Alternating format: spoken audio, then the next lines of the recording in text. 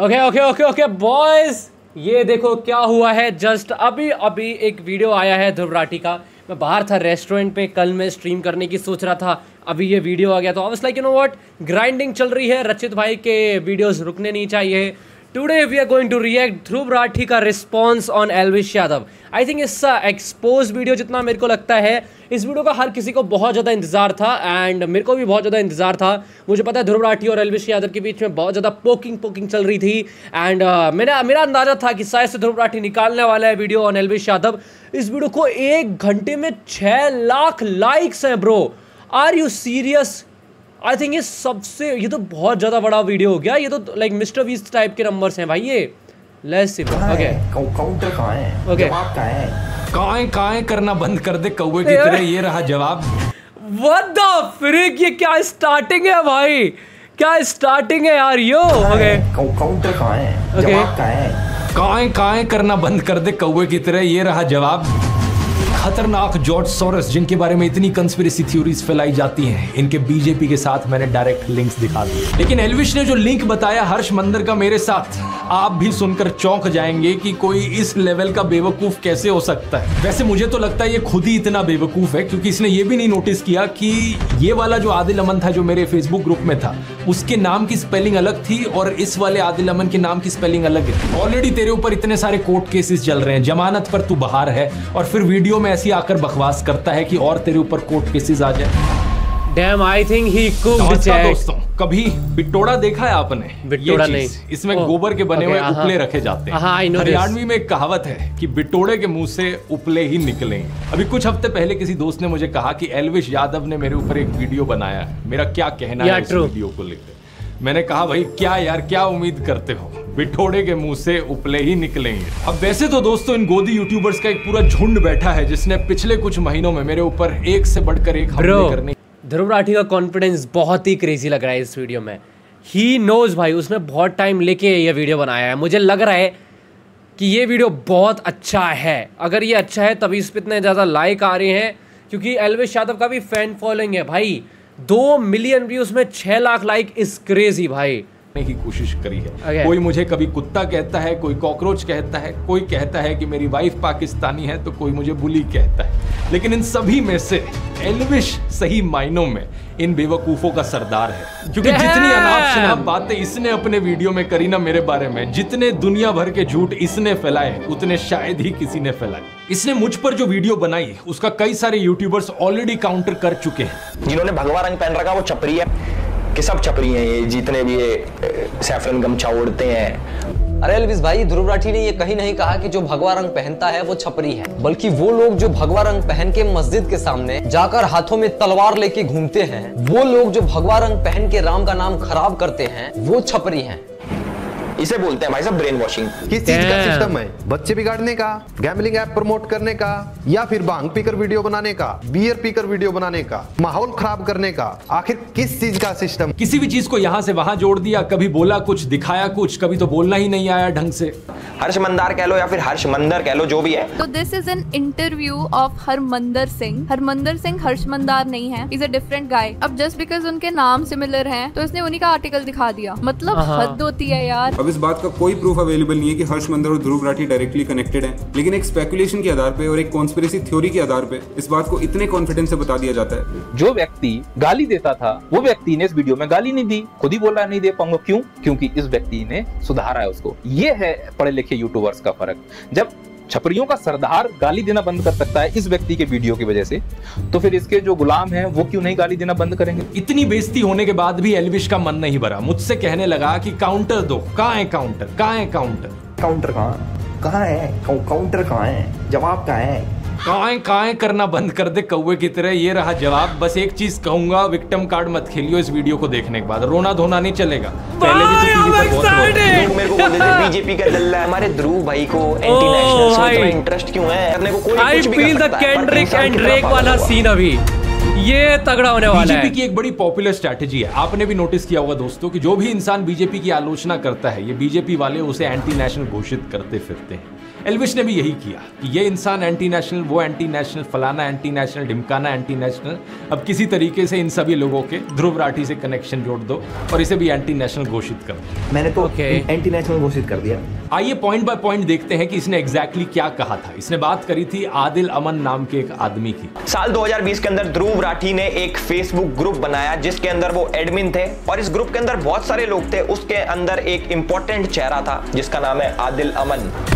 Okay okay, कौन है आदिल अमन? पहली गलत इन्फो साल 2020 में मैंने कोई ग्रुप नहीं बनाया। जिस ग्रुप की ये बात कर रहे हैं वो मैंने 2017 में बनाया था और 2020 तक तो मैंने उसे बंद कर दिया था। इस फेसबुक ग्रुप का नाम था ध्रुव राठी स्क्वाड इसके साथ साथ मेरा एक फेसबुक पेज भी है सिर्फ़ ध्रुव राठी नाम से। इस ग्रुप को मैनेज करने के लिए मैंने कुछ एडमिन को चुना उन लोगों में से जो मेरे फेसबुक पेज पर सबसे ज़्यादा एक्टिव लोग थे। ठीक है। ये लोग थे मैं नहीं जानता। मैंने सिर्फ़ इस बेसिस पर इन लोगों फेसबुक ग्रुप का एडमिन बनाया कि ये मेरे फेसबुक पेज पर सबसे ज़्यादा लाइक और कॉमेंट करते थे। इनफैक्ट फेसबुक की खुद की ये सजेशन होती थी उस जमाने में। तो जो भी एडमिन थे मेरे फेसबुक ग्रुप के, उनमें से किसी से भी मैं आज तक पर्सनली कभी नहीं मिला। अब हुआ क्या कि इनमें से एक एडमिन आदिल अमन ने एक टाइम पर बड़े ही वायलेंट और एक्सट्रीमिस्ट टाइप के कमेंट्स किए जिन्हें ऑब्वियसली मैं सपोर्ट नहीं करता।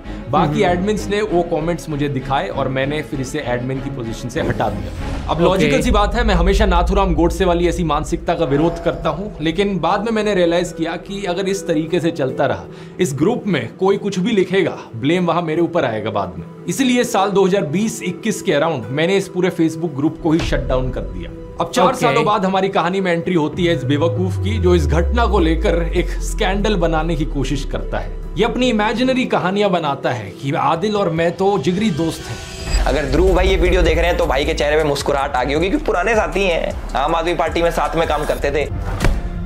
ओके जब प्रधानमंत्री मोदी सड़क छाप मवालियों को ट्विटर पर फॉलो करते हुए देखते हैं तब तो ये गोदी इन्फ्लुएंसर सारा लॉजिक लगा देते हैं कि इसमें हमारे प्रधानमंत्री जी की क्या गलती।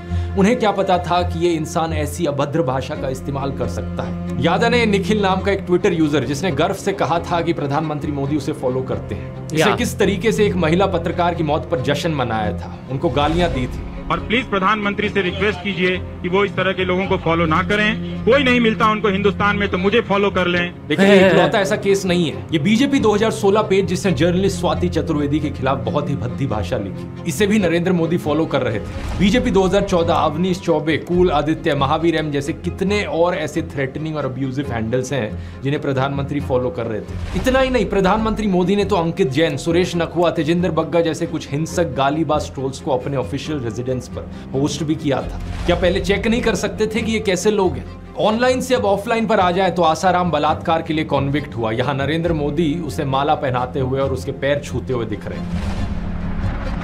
जीवन में जब कोई नहीं जानता था उस समय से बापू के आशीर्वाद मुझे मिलते रहे हैं। इस ट्वीट और इस फेसबुक पोस्ट में प्रधानमंत्री मोदी गुरमीत राम रहीम की प्रशंसा करते हुए दिख रहे हैं। वही गुरमीत राम रहीम जिसे मर्डर और रेप जैसे केसेस में दोषी पाया गया है। इस फ़ोटो में हरियाणा के पूर्व मुख्यमंत्री गुरमीत राम रहीम के साथ बैठे हुए दिख रहे हैं। 2017 के इस न्यूज़ आर्टिकल को देखिए। मध्य प्रदेश की एंटी टेररिस्ट स्क्वाड ने भोपाल, ग्वालियर, जबलपुर और सतना में 11 लोगों को गिरफ़्तार किया। इन पर आरोप था की ये पाकिस्तान की आईएसआई के लिए जासूसी कर रहे थे। अब आज तक की ये हेडलाइन देखिए। ये जो गले में बीजेपी का पट्टा डाले हुए और टी शर्ट पर मोदी लिखवाए हुए दिख रहा है, ये है ध्रुव सक्सेना। यहाँ इसकी फ़ोटो देखिए मध्य प्रदेश के पूर्व मुख्यमंत्री शिवराज सिंह चौहान के साथ। भारतीय जनता पार्टी विश्व की पहली राजनीतिक पार्टी, जिसके ऊपर एक ठप्पा लग चुका है कि यह एक आईएसआई सर्टिफाइड पार्टी बन चुकी कम से कम तीन शख्स इन ग्यारह में से सीधा सीधा तरीके से भारतीय जनता पार्टी के साथ जुड़े हुए।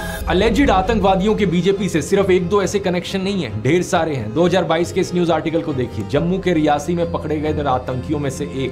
तालिब हुसैन, जम्मू एंड कश्मीर बीजेपी के माइनॉरिटी मोर्चा आईटी सेल का फॉर्मर चीफ निकला। बीजेपी ने कहा कि ये केवल 18 दिन तक बीजेपी का सदस्य रहा था। नासिर और जुनेद की किलिंग का अक्यूज मोनू मानेसर इस फ़ोटो में अनुराग ठाकुर के साथ, यहाँ लेट अरुण जेटली के साथ और यहाँ होम मिनिस्टर अमित शाह के साथ। इस फ़ोटो में प्रधानमंत्री मोदी पूर्व बीजेपी सांसद प्रज्ञा ठाकुर के साथ दिख रहे हैं, जो 2008 के मालेगांव बॉम्ब ब्लास्ट की एक अक्यूज है। बीजेपी नेताओं की एक्सट्रीमिस्ट टेंडेंसीज में डायरेक्ट इन्वॉल्वमेंट या इनडायरेक्ट एसोसिएशन के ये सब एग्जाम्पल्स तो बस ट्रेलर है। अगर मैं पूरी लिस्ट बनाने लग जाऊँ तो यहाँ तीन घंटे की फ़िल्म बन जाएगी। बाबू बजरंगी का स्टिंग ऑपरेशन यशवंत शिंदे का एफिडेविट प्रज्वल रेवन्ना आशीष मिश्रा अनुराग ठाकुर यति नरसिंह सरस्वती सूरजपाल अमू सुरेश चौहान के लिस्ट चलती ही जाती है। कोई कहता है गोली मारो कोई लिंचिंग के लिए दोषी पाए गए लोगों को मालाएँ पहनाता है कोई बलात्कारियों को संस्कारी ब्राह्मण बताता है तो कोई मुसलमानों के खिलाफ जेनोसाइड की बात करता है। क्या एलविश में हिम्मत है इन सब केसेस पर बोलने की? मुझे पक्का पता है तो इस वीडियो को देख रहा होगा। सीधा तुझसे बोलना चाहूँगा। अगर तुझमें एक परसेंट भी हिम्मत है तो बीजेपी से काउंटर मांग कर दिखा दे। कहाँ है काउंटर? कहाँ है काउंटर? ये जो काए काए करे जा रहा था ना मेरे साथ, बीजेपी के साथ करके दिखा। नहीं कर पाएगा, क्योंकि मुझे पता है तेरे जैसे सत्ता के चाटुकार पूरी ज़िंदगी ऐसी हिम्मत नहीं जुटा पाएँगे। मेरे खिलाफ बोलना आसान है क्योंकि पता है सरकार पीछे से कुछ कहेगी नहीं और बड़े यूट्यूबर को टारगेट करके व्यूज़ मिलेंगे कंट्रोवर्सी होगी पब्लिसिटी मिलेगी। पता है तुझ जैसे गोदी यूट्यूबर्स की सबसे बड़ी प्रॉब्लम क्या है? तुझ जैसे लोगों को लगता है कि कंट्रोवर्सी क्रिएट करके व्यूज़ आएँगे और इसी तरीके से फॉलोअर्स बटोरे जा सकते हैं। इसी तरीके से यूट्यूब पर करियर बनाया जा सकता है। लेकिन तेरे जैसे एक और यूट्यूबर को मैंने पहले भी कहा था कि कंट्रोवर्सी करके एक sustainable YouTube career my God bro did bat to Gaurav भाई यार। उस दिन मैंने स्ट्रीम में भी बोला था ब्रो इस भाई, ध्रुव किसी को भी नहीं छोड़ रहा है यार। Dhruv actually is on a new era at this point भाई। ध्रुव भाई एक्चुअली में किसी को भी छोड़ ही नहीं रहे हैं। डैम। बनाना पॉसिबल नहीं है। एक लिमिट तक ही लोग इस ड्रामे को बर्दाश्त करेंगे। उसके बाद लोगों को भी पता लग जाएगा तो ये ड्रामा जो करता है कंट्रोवर्सी जो करता है सिर्फ़ व्यूज़ के लिए करता है पैसे के लिए करता है। असलियत में यूट्यूब पर अगर एक लॉन्ग टर्म करियर बनाना है तो उसके लिए ऑडियंस को कुछ जेन्युइन वैल्यू देनी पड़ेगी। ये चीज़ मैंने अपने यूट्यूब ब्लू कोर्स में सिखाई है। अगर तुझे नहीं समझ में आती तो जा नो कोर्सिंग एंड ऑल कोई भी कोर्स बकवास सारे कोर्स बकवास होते हैं भाई। ध्रुव राठी के मैं सारे कोर्सेज का सीधा कर सकता हूँ बता ना। I tell you one thing about Dhruv Rathee ठीक है? ध्रुव भाई मेरे को बहुत पसंद है बट ध्रुव भाई का यूट्यूब कोर्स का तो मैं पूरा हर एक चीज़ बहुत सिंपली बता देता हूँ मैं। ध्रुव भाई mostly makes videos around those topic जो कि बहुत ही चलने वाले होते हैं, ठीक है ना? इफ़ यू सी ध्रुव भाई की कोई सी भी videos these videos are only thing जो कि अभी ट्रेंडिंग है। पॉर्शे इंसिडेंट इंसिडेंट अभी ट्रेंडिंग था, ठीक है ना? इंडिया इज़ बर्निंग अभी हीट सबसे ज़्यादा ट्रेंडिंग था, ठीक है? NEET scam trending Google expose it was trending prime minister it was trending Bollywood celebrities के ऊपर अभी सबसे ज़्यादा चीज़ें चल रही हैं it was trending you get the point YouTube का इजिएस्ट भी होता है ग्रो करने का make videos on a trending topic but अच्छे से बनाओ. यू गेट द पॉइंट और अच्छे से वीडियो कैसे बनाओगे? जब तुम बार बार वीडियोस बनाओगे. चार बार बकवास वीडियो बनाओगे पांचवी बार थोड़ी सी सही होगी. पचास बार बकवास बनाओगे मे बी पचास साठ वीडियोस के बाद अच्छी वीडियोस बनाना सीख जाओगे. समझे तुम कहने का मतलब? बट या ध्रुव भाई से अगर तुम्हें कोई चीज़ सीख सकते हो तो how to how to make engaging videos Dhruv भाई की वीडियोस काफ़ी ज़्यादा इंगेजिंग होती हैं या अगर कोर्स ले ले तेरे लिए एक स्पेशल डिस्काउंट भी दे देते हैं कूपन कोड यूज़ कर एलविश 40 40 परसेंट ऑफ़ मिलेगा इस साढ़े सात घंटे के कोर्स में मैंने सब कुछ सिखाया है कि फिल्मिंग कैसे करनी है Oh. एडिटिंग कैसे करनी है मोनिटाइजेशन कैसे करी जाती है इस करियर से पैसे कैसे कमाए जा सकते हैं। बिना गैम्बलिंग और बेटिंग की एप्स को प्रमोट करें see, see, see, see, see, one thing, one thing, one thing, ध्रुव भाई, ध्रुव भाई, let me tell you चाहे, ठीक है ना? एक रियलिटी में तो मैं बताता हूँ अभी मैं तुम्हें चूतियस लगूँगा इस चीज़ को बोलते हुए but in future you will see your favourite creators promoting gambling and betting apps Dhruv भाई को gambling and betting apps promote करने की ज़रूरत नहीं है because he is making 20 million views 10 million views पर वीडियो एंड इनके वीडियो का प्रोडक्शन बहुत ज़्यादा कम है। अब इफ़ तुम एक दूसरी कैटेगरी में अपना चैनल बनाना चाहते हो, ठीक है ना? वहाँ पे तुम्हारा प्रोडक्शन बहुत ज़्यादा हाई हो सकता है। स्ट्रीमिंग में तुम्हारा प्रोडक्शन हाई होता है स्ट्रीमिंग में तुम्हारा खर्चा ज़्यादा होता है। तब you need sponsors to make videos ठीक है? क्योंकि यूट्यूब इंडिया का रेवेन्यू बहुत कम होता है। At this point like you know editor वगैरह तीन चार हज़ार रुपये लेते हैं एक पंद्रह बीस मिनट की वीडियो को एडिट करने में। अगर तुम्हारे वीडियो पे पाँच छः लाख व्यूज़ आ रही हैं, तब यू आर अर्निंग अराउंड पंद्रह, सोलह हज़ार रुपये जिसमें से पाँच छः हज़ार रुपये तुम एडिटर को देने पड़ेंगे देन एक थंबनेल आर्टिस्ट को देने पड़ेंगे। तो it's really hard you get the point this betting and gambling वाला point two thousand seventeen eighteen nineteen में कॉमन था। Right now is just stupid guys right now is just stupid India की jersey में dream eleven का logo ज़्यादा बड़ा है than than India it you get the point Dream Eleven भी एक तरीके का भाई वही ऐप में आता है, ठीक है? वो भी फैंटेसी ऐप ही है, ठीक है? तो दिस इज़ द थिंग अब आगे जाके इंडिया में बैटिंग एंड गैमलिंग ऐप बहुत ज़्यादा कॉमन हो जाएँगे। समझे? बट हाँ ट्रस्टेड ऐप को ही प्रमोट करो। यू गेट द पॉइंट दस अ लॉट ऑफ़ एप्स दस अ लॉट ऑफ़ थिंग्स लेकिन सिर्फ़ और सिर्फ़ ट्रस्टेड ऐप्स जो एक्चुअली में बेस्ट है, जो कि हर कोई यूज़ करता है, जो ट्रस्ट वर्दी है एंड जो लीगल है इंडिया में, जो इंडिया को टैक्स वगैरह देते हैं, वही प्रमोट करो। या ये भी तेरे लिए सीखना बहुत ज़रूरी है क्योंकि जो अभी तेरा बिज़नेस मॉडल है ना कि कंट्रोवर्सी हाँ। करके व्यूज़ इकट्ठे करो और फिर इन गैम्बलिंग एप्स को प्रमोट करो। ये देश के यूथ का फ्यूचर बर्बाद कर रहा है। इस कोर्स में मैंने ढेर सारे और तरीके बताए हैं पैसे कमाने के और सबसे इंपॉर्टेंट चीज़ सेकंड चैप्टर में बात करी है अपनी नीच कैसे चुननी है। अपनी स्किल्स और अपने पैशन के बल पर एक यूनिक यूट्यूब चैनल कैसे बनाना है। अब दोस्तों वैसे मुझे पता नहीं एलविश यादव में कितनी स्किल्स हैं तो इसका तो छोड़ो लेकिन अगर आपको इंटरेस्ट है तो आप ज़रूर Elvish forty coupon code use कर सकते हो जाकर I want I want actually मेरा बहुत ज़्यादा मन कर रहा है कि मैं एलविस भाई का यूट्यूब कोर्स लूँ एंड सीखूं एंड देखूँ कि इन्होंने कोर्स में क्या क्या बताया to see if it's actually valid और नॉट जितने भी लोगों ने कोर्स लिया है उन्हें ये बेहद यूजफुल लगा है और पिछले 10 सालों में यूट्यूब के करियर में मैंने जो भी कुछ सीखा है वो मैंने आपको इसमें मैं सिखाया नहीं करूँगा इस क्यू आर कोड को स्कैन कर सकते हैं या लिंक नीचे डिस्क्रिप्शन में भी मिल जाएगा तो अगर तुम चाहते तो हो कि मैं करूँ। बात करता है जॉर्ज सोरस की। तो हर्षमंदार है वो जॉर्ज सोरस के साथ काम करता है जिसने 8000 करोड़ की फंडिंग दे रखी है। मोदी जैसे राष्ट्रवादी पीएम को हटाने के लिए और सरकार गिराने के लिए। है?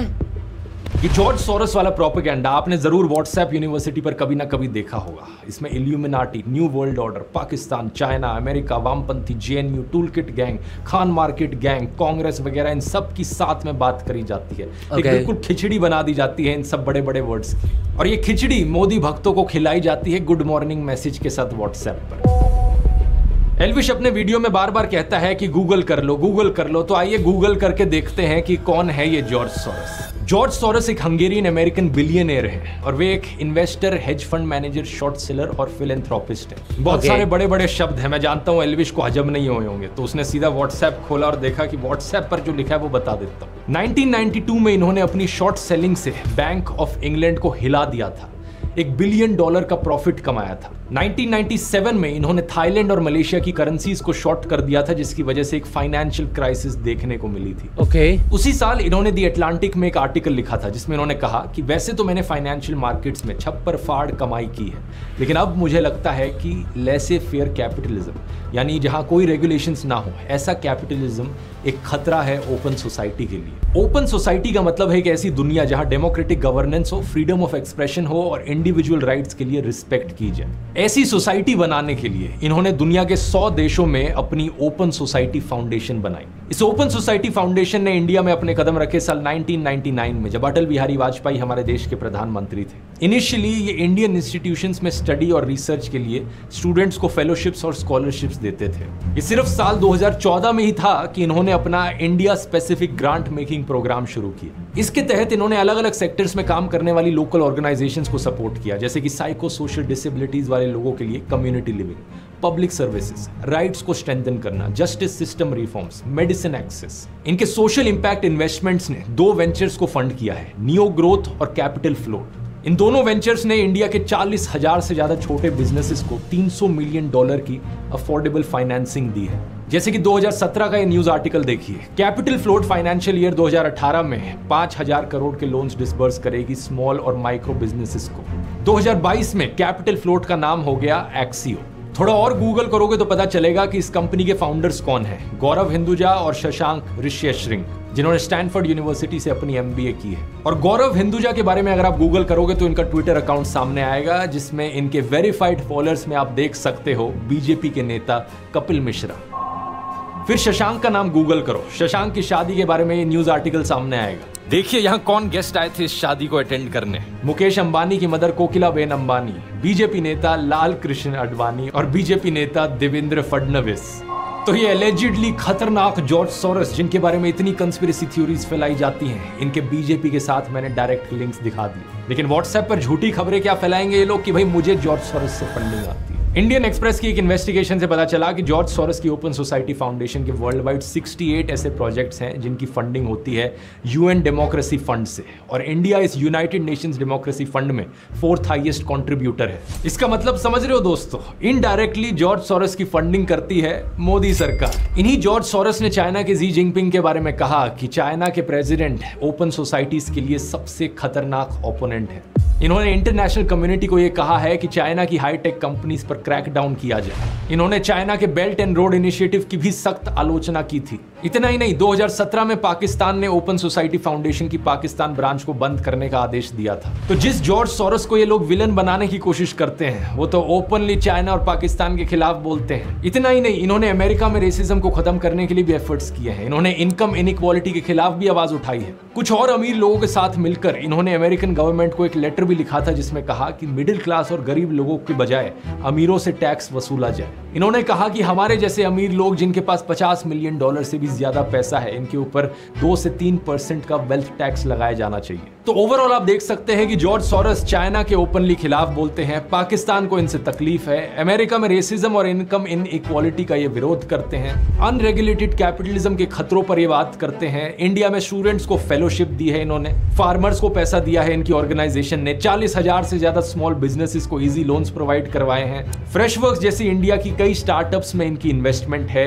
और इंडियन गवर्नमेंट यूनाइटेड नेशंस के डेमोक्रेटिक फंड में डोनेट करती है, जहाँ से इनके वर्ल्ड वाइड प्रोजेक्ट्स को पैसा मिलता है। यहाँ तक सुनने में तो सब ठीक ही लग रहा है तो फिर प्रॉब्लम क्या है? प्रॉब्लम यह है कि इन्होंने इंडिया में डेमोक्रेसी के इरोजन पर कंसर्न जताया। प्रॉब्लम यह है कि इन्होंने नरेंद्र मोदी के खिलाफ भी बोला। प्रधानमंत्री मोदी और गौतम अडानी के एलिजिड नाजायज संबंधों के बारे में इन्होंने बात की। इन्होंने कहा कि नरेंद्र मोदी को अडानी क्राइसिस पर सवालों के जवाब देने होंगे, ताकि फॉरेन इन्वेस्टर्स का विश्वास ना डगमगा। Modi and business tycoon Adani are close allies. Modi is silent on the subject, but he will have to answer questions from foreign investors and in parliament. और आप तो जानते ही हो कि गोदी इकोसिस्टम के हिसाब से मोदी भारत है और भारत मोदी है इन लोगों के लिए। इसलिए कोई भी प्रधानमंत्री मोदी की आलोचना करे, इन लोगों का गैंग उसे भारत विरोधी डिक्लेयर कर देता है। फिर चाहे वो रियाना हो, भारत के किसान हो या फिर जॉर्ज सोरोस। हो अब ये सारा तो व्हाट्सएप और गोदी मीडिया पर घूम रहा प्रोपोगेंडा है। लेकिन एलविश की बेवकूफ़ी तो इससे भी ज़्यादा कमाल की है। एलविश कहता है कि जॉर्ज सोरस को राहुल गांधी की आंटी जानती है इसलिए वो आंटी हमारे देश के लिए खतरा है। जो हमारे जॉर्ज सोरस है वो हमारे राहुल गांधी जी की आंटी फौरी नेहरू के बहुत ही करीबी दोस्त है। गूगल पर सर्च करो तो पता चलेगा कि 2017 में ऑलरेडी इनका देहांत हो चुका है 108 साल की उम्र पर। एक ऐसी महिला जो आज से सात साल पहले ही गुजर चुकी है वो भी 108 साल की उम्र पर। एलविश की राय में वो देश के लिए खतरा है। और वैसे तो 2009 का इंडियन एक्सप्रेस का ये आर्टिकल देखो, जिसमें बताया गया है कि फोरी नेहरू नेटिवली हंगरी से है, जहाँ से जॉर्ज सोरस भी हैं। जॉर्ज सोरस की तरह वो भी ज्यूइश थी। जब इंडिया में उनकी लव मैरिज हुई तो उन्होंने अपना नाम कर लिया था शोभा नेहरू।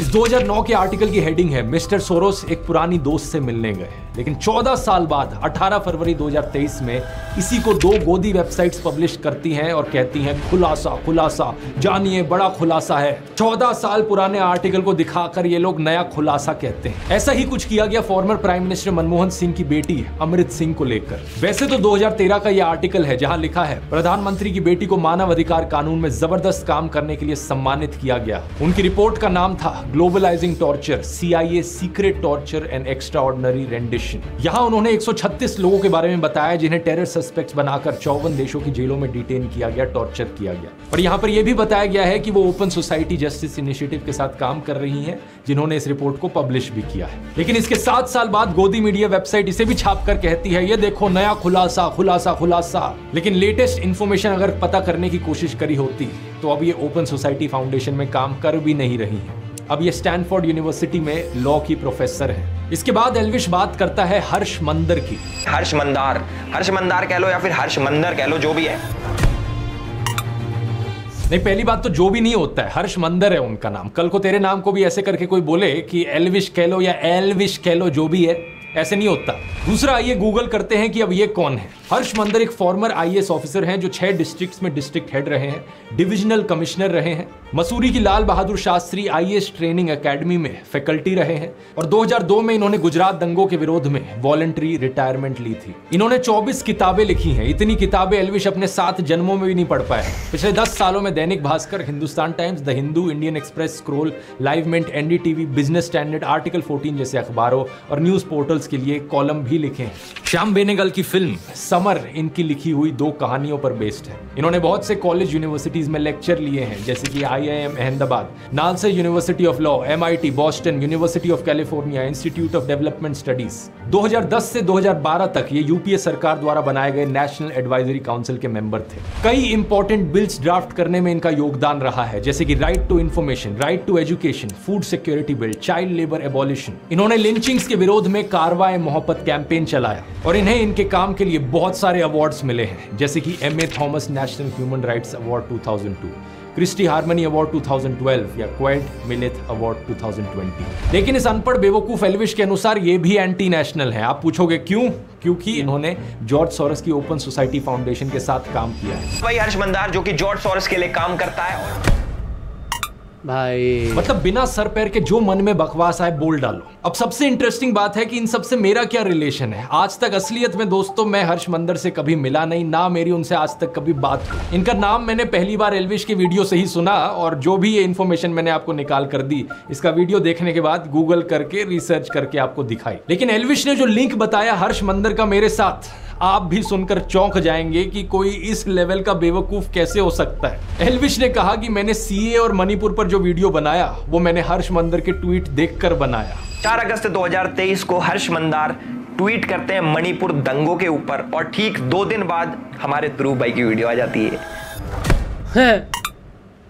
ये ट्वीट और वीडियो की टाइमिंग तो ऐसे दिखा रहा है जैसे कि बहुत बड़ा जासूस बन गया हो, लेकिन यहाँ पर भी इसने गलती करी। 14 दिसंबर 2019 को हर्ष मंदार सी और एनआरसी के ऊपर एक ट्वीट करता है और ठीक तीन दिन बाद यानी कि 17 दिसंबर 2019 को हमारे ध्रुव भाई as per the tool kit video बनाते हैं। उसके अंदर सीएए का ज़िक्र होता है। असलियत में ये मेरा दूसरा वीडियो था सी एनआरसी के ऊपर। इससे पाँच दिन पहले 12 दिसंबर को मैंने पहला वीडियो अपलोड किया था। टोटल में तीन वीडियोस मैंने बनाए थे। तीनों वीडियोस आज के दिन भी यूट्यूब पर अपलोडेड है। आप जाके इन तीनों में से इनके टाइम स्टैम्प देख सकते हो कि कब इन्हें अपलोड किया गया। तो पहली बात तो ये प्रूफ ही गलत है और अगर ये सच भी होता तो इस तरीके से कनेक्शन दिखाना एक बहुत ही अजीब चीज़ है। देश में कोई भी टॉपिक न्यूज़ में आता है तो ऑफकोर्स जो टॉप यूट्यूबर्स हैं, उस पर वीडियोस बनाएँगे। मैं वीडियो बनाऊँगा उस चीज़ पर। दिसंबर 2019 में न्यूज़ चैनल्स पर सोशल मीडिया पर इसकी बहुत चर्चा चल रही थी तो मैंने वीडियो बनाया।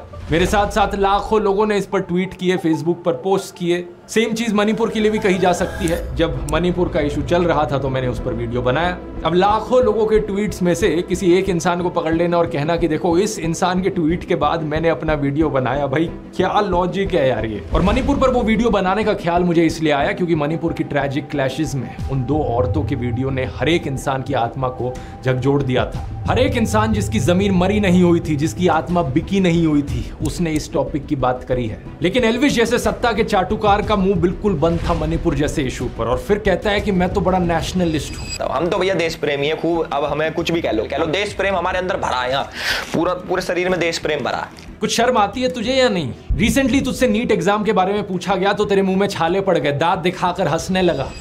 गवर्नमेंट नीट एग्ज़ाम डॉक्टर्स के एग्ज़ाम के पेपर लीक हुए।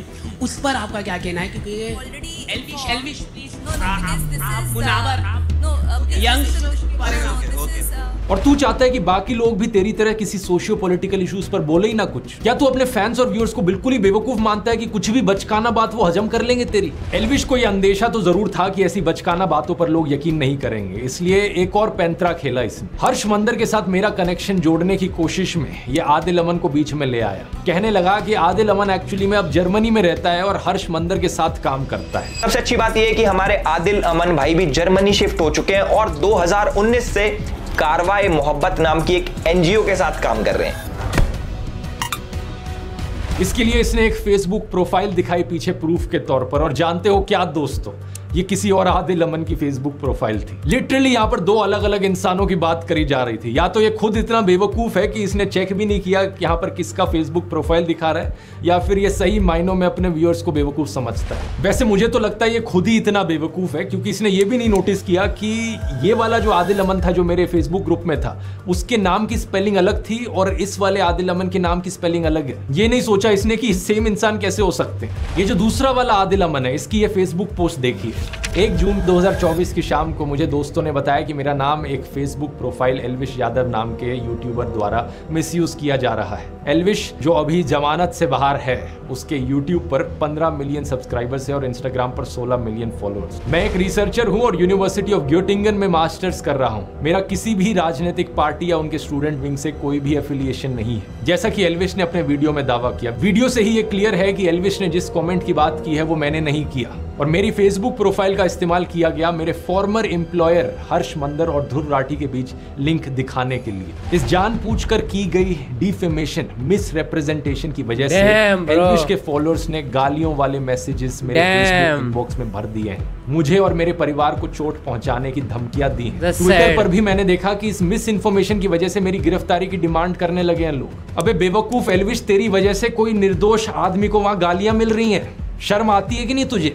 आगे देखिए क्या लिखा है। मेरे वकील ने तीन जून को एलविश यादव को एक लीगल नोटिस भेजा। ये बताते हुए कि जो कमेंट उसने मुझे एट्रीब्यूट किए हैं वो कमेंट मैंने किए ही नहीं और ना ही मैंने किसी प्रोटेस्ट को ऑर्गेनाइज किया है। हमने उसे तीन दिन दिए थे वीडियो हटाने के लिए और एक क्लैरिफिकेशन इशू करने के लिए। तीन दिन बीत चुके हैं और अब मैं एलविश यादव के खिलाफ एक लीगल केस करूँगा मेरी रेपुटेशन को नुकसान पहुँचाने के लिए और मेरे और मेरे परिवार की सेफ्टी को थ्रेटन करने के लिए। इसलिए मैंने वीडियो के शुरू में ही कहा था रोना मत एलविश जो तू बकवास करता है उसका एक्चुअली में किसी की लाइफ पर असर पड़ता है। ऑलरेडी तेरे ऊपर इतने सारे कोर्ट केसेस चल रहे हैं। जमानत पर तू बाहर है और फिर वीडियो में ऐसी आकर बकवास करता है कि और तेरे ऊपर कोर्ट केसेस आ जाए।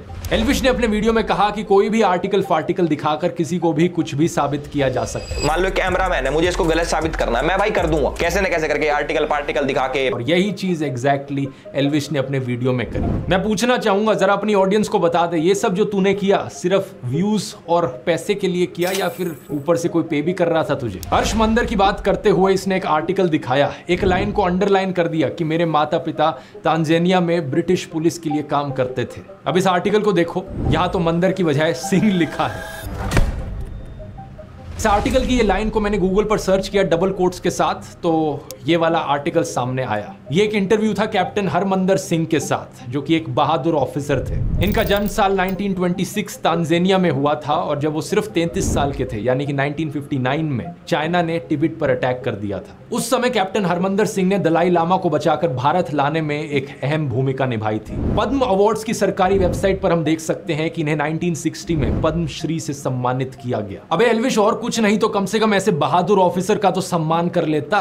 माना कि तू अनपढ़ टाइप का है, लेकिन क्या इतना भी पढ़ना नहीं आता कि हर्ष मंदर और हरमंदर सिंह में डिफरेंशिएट कर सके? और वैसे मैं आपको बता दूँ दोस्तों, हर्ष मंदर, इन्हीं कैप्टन हरमंदर सिंह के बेटे हैं। यहाँ पर अगर हर्ष मंदर भी चाहे तो वो भी सीधा सीधा एलविश के ऊपर डिफेमेशन का केस कर सकते हैं। इतना ही नहीं former prime minister Manmohan Singh ji की बेटी अमृत सिंह के खिलाफ जो तूने झूठ फैलाया है, वो भी केस कर सकती हैं तेरे ऊपर। और तो और मैं भी केस कर सकता हूँ तेरे ऊपर डिफेमेशन का। मेरे लॉयर ने कहा कि जो भी तूने बकवास करी है इस वीडियो में, वो सीधे तौर पर क्रिमिनल डिफेमेशन का केस बनता है। अगर ये सारे और केसेस कल को तेरे ऊपर हो गए तो फिर विक्टिम कार्ड मत खेलियो। मैंने पहले ही वार्न किया था इस वीडियो में। जितने फालतू के फर्जी लिंक्स एलविश ने मेरे बनाने की कोशिश करी और लोगों के साथ, उससे सीधा कनेक्शन मैं इसका बना सकता हूँ। एलविश ने अपने एक वीडियो में अखिलेश यादव को सपोर्ट दिखाया था। वैसे हम तो भाई अखिलेश के सपोर्टर है भाई। यादव बिरादरी जिंदाबाद कर रखी है हमने पूरे यूपी में। तो भाई बताओ कि क्यों ना करें हम अखिलेश को सपोर्ट अखिलेश यादव के अलायंस पार्टनर कौन है? राहुल गांधी। तो अगर ये राहुल गांधी को देशद्रोही ठहरा रहा था वहाँ पर अपने वीडियो में तो ये खुद भी देशद्रोही हुआ। और दूसरी तरफ़ बीजेपी से भी तेरे इतने ही लिंक्स हैं, इतने सारे पॉलिटिशियंस के साथ जाकर तूने फ़ोटो खिंचाई है शो ऑफ़ किया है, अपना सपोर्ट जताने की कोशिश करी है। तो चाहे इस तरफ़ से हो, चाहे उस तरफ़ से, तेरे भी फालतू के कैसे कनेक्शन बनाए जा सकते हैं, और तुझे भी एंटी नेशनल घोषित किया जा सकता है। मैंने तो एंटी नेशनल घोषित कर दिया। अब देखो एनआईए ने पकड़ लिया। एलविश तेरे जितने भी झूठ पकड़े हैं मैंने अभी तक सिर्फ़ पाँच छह मिनट के वीडियो के सेक्शन में पकड़े हैं। अभी तो और झूठ पकड़ने बाकी है। पकड़ लिया। तूने और बहुत सारे अच्छा। आरोप लगाए थे मेरे ऊपर की कैसे मैंने पकले पकले पका ये एलविश का वो कर रहा है ट्रोल कर रहा है। ओके वही मैं कहूँ। अपने व्हाट्सएप चैनल पर झूठी जानकारी फैलाई टेलीग्राम पर पोर्नोग्राफिक कंटेंट शेयर किया। क्या क्या बकवास तू इमेजिन करता है? कभी तूने कहा कि मैं कोई फर्जी कॉइन प्रमोट करता हूँ? कभी तूने कहा कि मेरा आम आदमी पार्टी के साथ लिंक है? जो तूने गंदगी फैलाई है, इसको साफ़ करने में एक और वीडियो लगेगा। आगे के एक वीडियो में दोस्तों, बाकी सारे आरोपों को भी डिटेल में समझेंगे और इस एलविश यादव की असली पर्सनैलिटी को भी पकलेंगे इतने एलविस थोड़ा इंट्रोस्पेक्ट कर अंकल आंटी से जाकर बात कर उन्हें ये वीडियो दिखा उन्हें भी बता कि कितने और कोर्ट केसेस अब तेरे ऊपर किए जा सकते हैं। और हाँ विक्टिम कार्ड मत खेलना। मुझे नहीं चाहिए कि तू दोबारा से जाकर किसी न्यूज़ चैनल पर रोना धोना कर। अगर आपको दोस्तों इंटरेस्ट है यूट्यूब को पार्ट टाइम जॉब या फुल टाइम करियर बनाने में तो यूट्यूब ब्लू का लिंक नीचे आई फील लाइक कि उतना लाइक मोस्टली रिप्लाई किया है ध्रुव ने जो उसके ऊपर एक्यूजेशंस लगे थे। उसने एक्विजेशंस नहीं डाले लाइक उसने अभी तक कोई सा भी एलविश के ऊपर चीज़ें नहीं बोली हैं मोस्टली ही रिप्लाइड ठीक है कि एलविश ने जो भी चीज़ें बोली थी, उसका इसने रिप्लाई किया है। नाइस वीडियो काफ़ी अच्छे से रिप्लाईज किया रिप्लाई किया। I like it good good one